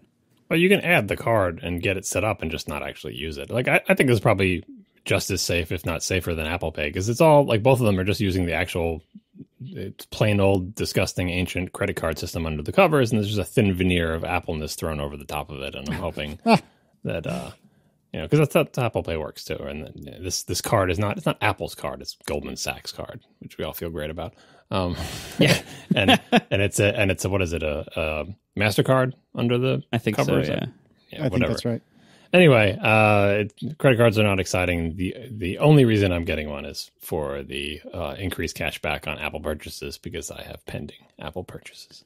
Yeah, you can probably get like fifteen hundred dollars back on your Mac Pro. Yeah, three percent is a lot when the numbers get big. I'm, I'm, exploring all options to save money on the Mac Pro, Inclu- including uh, a, a, billionaire who's listening to the podcast now just buying me one. Mm-hmm, mm-hmm. Well, if you're going to buy one, why not buy three? Yeah, you hear that, Bill Gates? If you weren't bored by all the uh, SwiftUI talk, now's the time to buy me a Mac Pro. I'm sure he's still listening. He doesn't even buy his kids college tuition, right? I have no idea. He's the whole thing of like he doesn't want his kids to to like they want them to like earn uh, everything they have in life. It's a valid concern. I, I, don't know if that's true or not, but that is a respectable position to take. Yeah, I, I, remember that from way back when. I'm not sure if he's held firm on that. I don't know. I remember there was a meme before we called it a meme, not really a meme, but like a, a thing, a viral thing going around that uh, this was like when I was in college that somebody had computed based on Bill Gates' earnings that if he saw, and I'm making this up, but it was like if he had seen a thousand dollar bill on the sidewalk as he was walking to work, and I don't even think a thousand dollar bill is a thing, but for the sake of discussion, he sees a thousand dollars sitting on the sidewalk as he's walking to work. It would actually behoove him to just continue walking to work because he will make more than a thousand dollars in the time it would take to pick up that you know the thousand dollars in cash that were laying on the sidewalk. And I remember as like an 18 year old, I was like how can that be possible? I just thought it was insane. I remember uh, as a 20 something year old thinking this analogy is dumb because he's not an hourly employee. Well, there's that too. also, I'm pretty sure this was from like email forwards. No, not, a, not an analogy. This meme is dumb. It is a dumb meme, but yes, Whatever. he has a lot of money. We are sponsored this week by Linode, my favorite web host for running servers. Go to linode.com slash ATP to learn more and get a $20 credit with code ATP2019. Whatever you want to build, you can build it on Linode. You can build distributed applications, hosted services, backends for your iOS apps, websites, CI and CD environments, whatever you want to build using virtual servers, you can do it on Linode. And these servers are fast in the Linode cloud. They have native SSD storage, a 40 gigabit network behind it all, industry leading processors, and they have 10 worldwide data centers and they're always adding more. Uh, I believe they just added Mumbai, India. They added Toronto, Canada recently. They're always adding more around the world so you can serve your customers wherever they are with hourly billing across all plans and add on services. So if you only need a server for a couple hours, only pay for it for a couple hours. No big deal. And I got to say, one thing I love Linode, I've, I've been with Linode for I think about eight or nine years now. And they've always been an incredible value the entire time. It isn't just like a one time sale and then they kind of coast on that forever. They're constantly adjusting their plans and pricing so that they are always the best value in the business. For the entire eight or nine years I've been with them, they've been the best value that entire time. And I like them for other reasons too. You know, cost is very important, but they also have a really nice control panel. They have amazing capabilities. They have amazing support if you ever need it. You know, occasionally you probably need support from your web host. I need it sometimes too. And they've been just top of their game every single time I've needed anything from them. So check it out today at linode.com slash ATP and you can use promo code ATP2019 to get a $20 credit. Now, their plan started at just $5 a month. So that could get you four months free on their one gig server plan. So check it out today, linode.com slash ATP. I love them as a web host. They are my favorite web host. Linode.com slash ATP. Promo code ATP2019 for a $20 credit. Thank you so much to Linode for being so awesome and for sponsoring our show. All right, let's move on to Ask ATP, and let's start with Brad Seifert, who writes, uh, FaceApp has been incredibly popular, and this was actually written a few weeks ago, has been incredibly popular in the past week or so, with many folks aging or de-aging themselves. My Twitter feed was full of people worried that the app was made in Russia and that giving the app permission to view your photos allowed them to upload all your photos to their servers. Is this something we should be worried about? Does the iOS photo permission uh, really give the app maker copies of everyone's photos who has used the app? I actually don't know what the granularity is for photos. I know vaguely that there's a mechanism by which you can like ask for a single photo and i think that ios will only give you that one photo. You don't get rights as an app developer to the entire library. I don't i've never used faceapp so i have no idea if that's what they were they what they did and how it worked. Uh, marco do you happen to know anything about how photo selection works in ios? Nope. yeah okay. John any thoughts I, I know about what you know is that a well behaved application will ask for access, throw up a picker, and just get access to the one photo that the person picked. I don't know if there is a bigger option, which is just give me access to all the photos. There might be, um, but that's that's besides the point. I feel like the FaceApp issue is like like anything else on the internet, right? If you're giving a photo of yourself to an app, however it gets it, or giving any of your photos, giving any of your information, there is an implicit trust relationship between you and the app vendor. Uh, do you care that an app has a picture of your face? It depends. I mean, there's pictures of my face all over the internet. Uh, giving one to this application and it associating with me is probably worse than it finding one on the internet, but everyone's mileage may vary. This happens whenever there's anything related to faces that comes up on the internet. Like you're just giving your information to a thing that's feeding machine learning and they're building a database and robots will come and eat your medicine. You know, like there is definitely danger here. The danger is exactly what you think it is. If you don't want to give anyone your photo, don't give, anyone your photo. If you give someone your photo, they have your photo. Like that's basically what it is. The larger mass thing is like, oh, I just thought I was giving them my photo, but I didn't realize that based on my photo, they could predict my future and steal all my money. Like they can do that without your photo. I, that said, I did not download this app. I do not want to give my. I never do any of these face things. I, you know, I never answer any of these questions. That you know, there's a meme that tell everyone your last six addresses you lived at, and your mother's maiden name, and your you know first dog's name. Like, don't do any of that stuff. Don't give out information for fun, right? Like, it's we give away enough information unintentionally that it's probably not a good idea to be giving out information intentionally. If you want to derive fun from these things, look at all the fun that other people are having with it. Or uh, another option is to upload pictures of celebrities, which a lot of people did. Uh, I don't. You probably still have to give FaceApp access to your photos, so I don't know the deal there. I don't. Again, I don't know if they have access to all your photos or just one. That's why web apps are better. Go to a web app and upload a picture of your favorite celebrity and see how they look when they're old and they're young. That is probably slightly safer than using the iOS app. slightly. All right, moving on. Uh, Nathan would like to know uh, I'd love John's advice on reconciling my love for RTS games with my disdain for the need to have a giant gaming PC in my house. So, John, do you tolerate having a Mac as your main machine and a PC for gaming? That's my current setup, but I'm growing tired of seeing a giant PC sitting on my floor in last week's episode, I don't know if that is literally this past week or several weeks ago, you talked about folks who modify cheese graters into hot rods of sorts. Is that an option you'd consider? I have a dream of being able to use an iMac that I can boot into Windows for the sole pers- purpose of playing RTS games, but I'm not sure the performance is quite sufficient. If you were in my position, would you bother with trying to modify a cheese grater as you mentioned? And also, John, would you start by explaining what the hell an RTS game is, please? Real time strategy game. Even I know this one. Oh, so we're talking like StarCraft and Total Annihilation, man. Okay. okay. StarCraft. Who plays StarCraft? yeah. Um. So I am kind of in Nathan's position, and my choice is and has always been not to buy an additional gaming PC. unfortunately, the age when you could have a single glorious computer that could serve as your gaming PC and your Mac and be decent at both is more or less over. Uh, the Mac Pro probably can be a reasonable gaming PC, but it costs a lot more money than you would think. Uh, even if you ignore the monitor thing, it's not a good deal. It's much cheaper to get a Mac and then buy a gaming PC.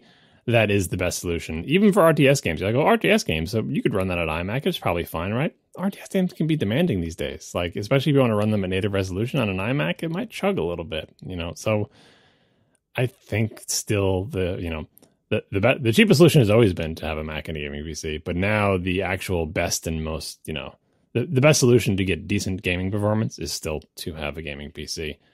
You can't dual boot your Mac Pro like you used to back in the day and have a reasonable gaming PC performance alongside a really good Mac. You just can't anymore. And I, I do not recommend the current or the upcoming Mac Pro for that purpose because it's just too much money. Finally, Ryan Monahan writes, I haven't started my new with my new job yet, but have any of you ever had to deal with imposter syndrome? If so, how did you overcome it or work through it? Do you have any tips for a new developer? Uh, I've definitely been through this a couple times when I've uh, quote unquote pivoted uh, my career. Uh, when I started out, I was doing C professionally, uh, and then I eventually switched to doing C sharp stuff natively, as in not the web, and then that became web development, and then I eventually changed into iOS development. And every single time, you know, I was extremely worried that I didn't know what the crap it was I was talking about because candidly, I didn't really know what the crap it was I was talking about. And I think the best advice I have is to own up to when you don't know something. Don't try to act like you're smarter than you are. Um, most people that I've worked with, most developers I've worked with, have appreciated when I've been when I've said to them, "Look, I'm sorry, but I really don't understand what you're talking about. Can you explain it, you know, deeper, differently, etc." Uh, and sometimes they'll get annoyed, but generally speaking, they'll appreciate the fact that I'm being candid with what I do and don't know. And uh, I, I guess just believe in yourself, which is a, such a cheesy thing to say, but even problems that I've had, like issues I had with Vignette, like the, the duplicate image detection, like I didn't have the faintest idea how I was going to solve that. And I, yeah, as we discussed earlier, maybe it's not solved yet, but certainly it's a lot closer than it was a month ago. And, and I didn't have the faintest clue what I was going to do about that. And I worked through it and I figured it out. So you'd be surprised what you're capable of. Uh, Marco, as someone who, as someone else who doesn't have a job, why don't you give us advice about having a job? Yeah, I mean, obviously this this depends a lot on context. Like it depends on whether you are working with other people, whether they are smarter than you or more experienced than you, uh, whether you are you know kind of comparing yourself to the public or being in public. So it's all it's different for all sorts of different contexts. But no one starts out being an expert in anything no one starts out being an expert in their own job. Some people never get there. Uh, there are there are idiots at every in every field at every level. Um, and if you simply care and try, you will generally put yourself ahead of the pack um, because most people don't care and don't try. That's well put. I agree with that. Everyone is putting on an image that they are fully competent. Everyone is at least and you like if you feel these kind of feelings you especially are kind of self-selecting what you perceive from other people. You are thinking everyone else has it all together. But the reality is most people are just getting by. We're just plowing through. We, we are doing the best we can with the knowledge and experience that we have at any given moment. And it's never perfect and it's never complete and we're never experts. We just are you know more or less clueless as time goes on or you know depending on what we're dealing with at the time. But most people are just kind of plowing through and doing their best. And so if if you try and, and if you if you put in the effort to you know try to better yourself if you care about getting things right and about learning you will be literally better than most people out there.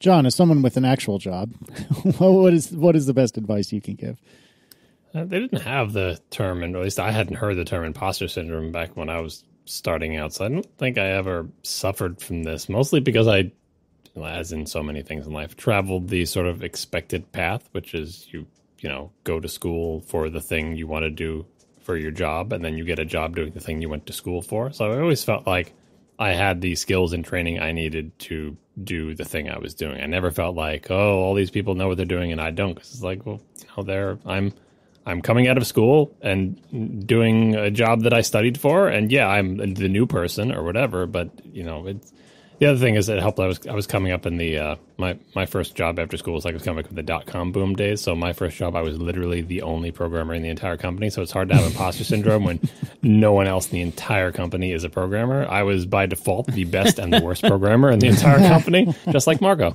Uh, so. Uh, or Casey, for that matter. Now, yeah. the only programmer. You are the best and the worst. Um, Hooray! So I don't have a, a lot of good advice uh, to think about, but I, I, would echo Marco's point that if like that, that, that, if you show up and are vaguely competent and care, you are already above average.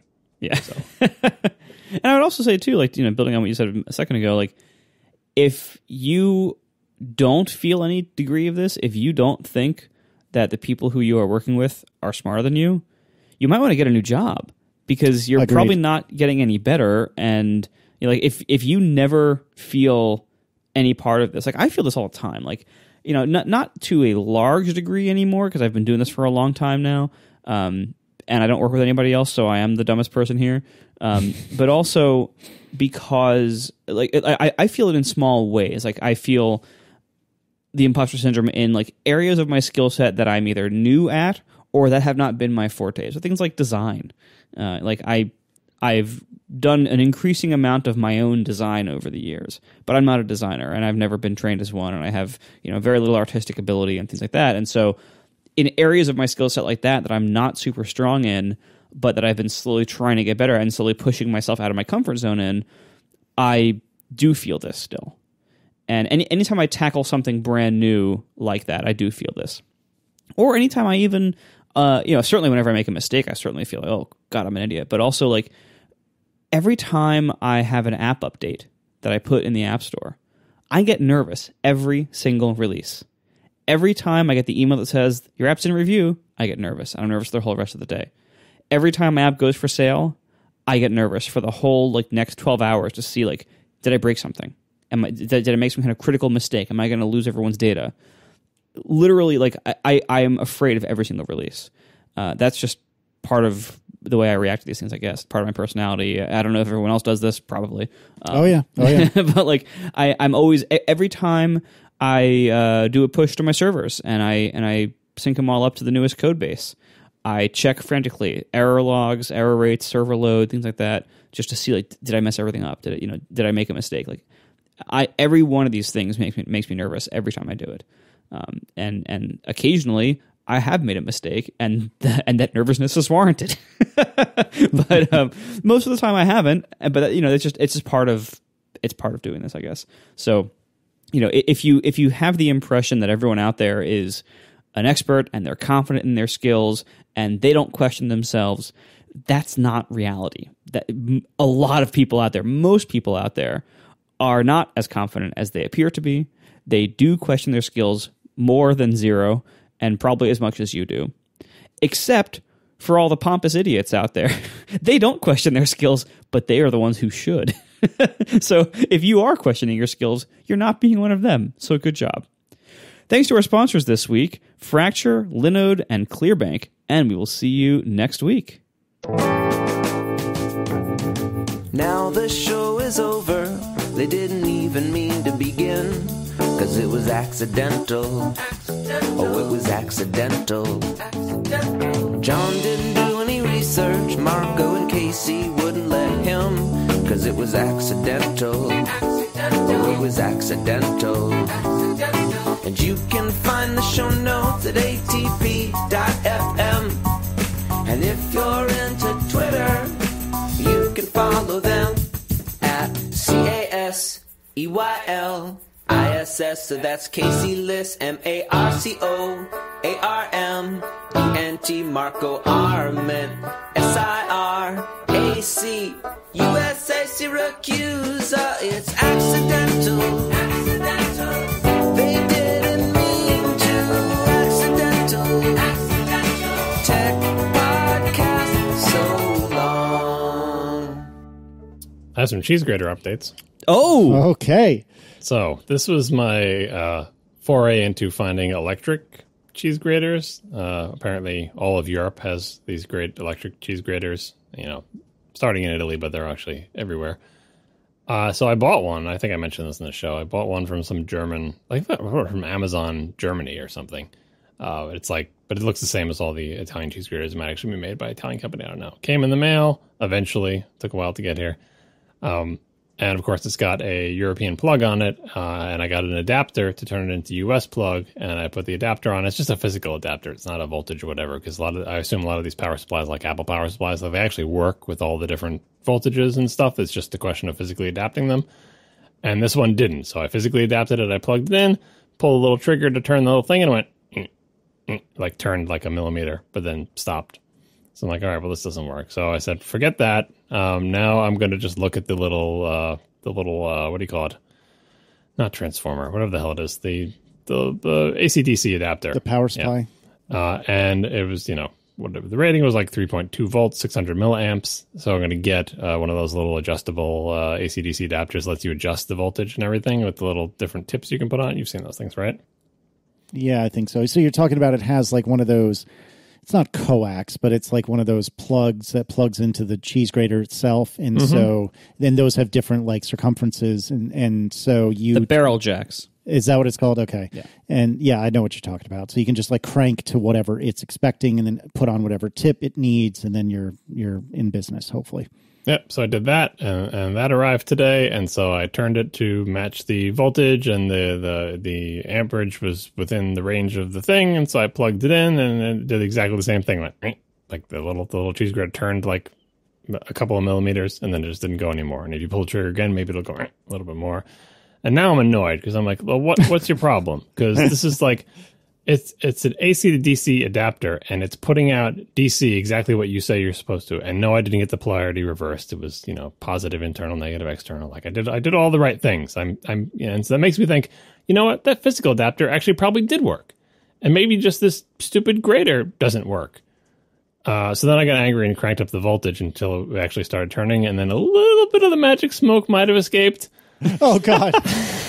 Not all the magic smoke, a little bit of the magic smoke escaped, and then I was like, all right, well, let's consider this a failed experiment. So either I got a bad grader or I cannot figure out how to get this thing to work on US power. I think I got a bad grader because honestly, like DC is DC, right? And I match if I match the voltage and current and it still just doesn't turn, I think this is just dead and if everything wasn't in German, I would attempt to return it and get my money back. But uh, I'm not even going to bother. Just chalk it up to a learning experience. I, having seen one of these things in person, I feel like there's the potential for it to actually be viable and work. So I'm still interested in if anyone knows of a U.S. product from a store that I speak the language of and can actually return things to if it doesn't work. that uh, electrically grates cheese that looks like these German ones. I shouldn't even ask for this because you don't know what the one I'm talking about looks like. Maybe I'll put it in the show notes, but uh, history as a judge will probably just forget. Anyway, I'm still looking for something to grate the cheese for me. And in the meantime, my hand grater is uh, what I'm using still. I'll probably take this one apart, by the way, to see what the heck is going on inside there. If there's something obvious wrong or whatever. Yeah, it sounds like like the like the, the based on the symptoms and the smell I'm not an expert in this area, but I would guess that the motor can't turn. Something is jamming it from turning, and that the smell you're smelling is like the motor basically trying to burn itself out, trying to turn. Well, it's not not that it can't turn because when I like when given the proper the the quote unquote proper voltage and current, uh, it turns in little bits when you pull the trigger. Right when given way too much voltage with the adjustable thing, it spun like it went ring and actually spun at probably what I assume is the correct maximum speed because it's not supposed to spin very fast, right? It spun for a little while and then a little bit of the magic smoke came. So I like this. The, the smoke was only involved when I was obviously doing bad things to it by putting too much power into it, but it did actually spin. But it makes me wonder, like, what is your problem? Like, it makes me think that, that it was exactly the same with the with the adapter that I bought and the the one that I physically adapted, it makes me think that those ought to have worked. Everything, you know, they they should have been getting the the it, the behavior was so identical between them. So I I just think I you know it's it's screwed up in some way. I could be totally wrong. I don't even know, but I, I do want to take this thing apart. I was looking at how to take it apart, and there's like no visible screws. This is going to be fun for me. Do you check like under like under the rubber feet or like that's they oftentimes will hide screws under rubber plugs or rubber feet. Yeah, yeah. And I, I know all the usual places to look. I just didn't see anything particularly obvious. I really need to go in there and start prying off some trim pieces. But it, I wasn't particularly impressed with the quality of the thing. It was cheap. I mean, I didn't buy an expensive thing. This I knew this was going to be an experiment. I think it was like thirty bucks or something like so. uh, Maybe I'm expecting too much from it, but I I'm intrigued by the design of the thing. It's basically I don't know. I'll, I'll find a link to it if I can, and we'll put it in the show notes. And Marco will make it the chapter art or something, so people can look at this and uh, know if there's anything in the U.S. And uh, and yes, everyone has been telling me I'm supposed to adapt, attach a thing to my stand mixer, but I haven't found a good adapter for that yet. I do have a stand mixer, and I can attach things to it, but all the little turny things I've seen have not had the right holes. I don't. I don't want to go mm-hmm. go through this again. Don't send me suggestions. I'm just letting you, the world, know I'm still on the lookout.